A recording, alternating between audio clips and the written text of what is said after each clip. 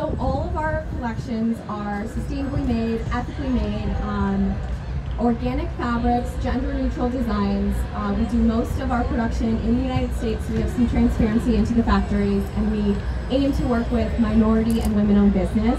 So that's like the foundation of what we're trying to do. Um, and we try to do that every single time and even and we even say it's not good enough. So our motto at Reinc is again but better because when it comes to design and creation and production, um, there's so much room for improvement.